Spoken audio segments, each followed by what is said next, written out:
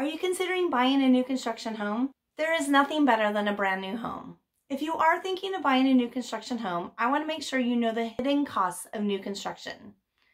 These are not hidden on purpose, but they are fees that are not typical of a resale home. First off, the list price is not typically the sales price. Many builders offer a base model home for the list price.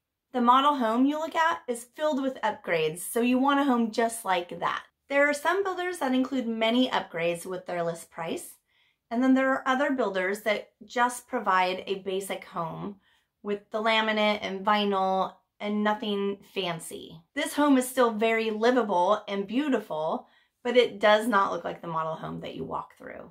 Once you get an offer mutually signed around, you get to go to the design center. This is where you pick out your colors and finishes and where they show you the upgrades. Most buyers put a minimum of $20,000 in upgrades and even more. So if you are looking at buying a new construction home, you may want to look a little below your price range to leave some room for upgrades. Another thing to watch out for, many items that you think are standard are not standard.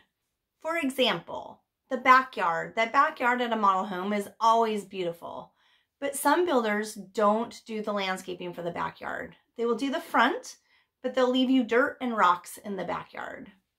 Same with fencing. Sometimes you'll have a partial fence, sometimes no fence at all, and sometimes a complete fence. Neither is a washer and dryer or refrigerator or designer paint colors. Also the blinds. Most houses don't include blinds. Those are an extra cost. You can usually purchase all of these from the builder, but they are an extra cost and they usually have a markup percentage. If you are purchasing a presale home, be sure to get a list of the upgrades and the standards and a plot plan of how the house will be placed on the lot if you're buying a presale. Some things are not always what you expect, so the more you can get answered up front, the better. Another thing to be aware of is that most builders have their own purchase and sale contracts. When you buy a resale home, your real estate agent will use forms from the Northwest Multiple Listing Service, which are standard forms, and your agent should know them very well. Builders, though, typically have their own contracts. This contract is written to protect the builder in many ways. You and your agent want to be sure to read the contract thoroughly. Sometimes there are clauses in there that are not standard. For example, sometimes the earnest money will become non-refundable at a certain stage in the process. Sometimes there are late fees if you don't close on time. Sometimes there are homeowners association deposits that are not standard in a typical resale. So just make sure you're aware.